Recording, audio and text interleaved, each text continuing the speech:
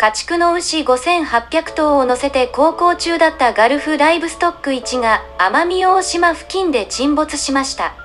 乗員はフィリピン人39人、ニュージーランド人2人、オーストラリア人2人が乗っていて、船はニュージーランドのネーピアから中国の東山市へ向かっていました。海上保安庁の話では、台風の影響を受け、遭難信号を発信していた貨物船が沈没したとみられます。救助したフィリピン人の乗員1人の証言で、船内で警報が出たので、慌てて救命胴衣を着用し、海に飛び込んだと話しているそうです。また、複数あるエンジンのうち1つが止まって、そこに波が来て船が転覆し、その後沈没したと証言しているそうです。海上保安庁は残る42人の捜索活動を続けています。船に乗せていた5800頭の牛は1ヶ月の航海を経て今回の沈没に遭い海へ流され溺死したと海外メディアが伝えています。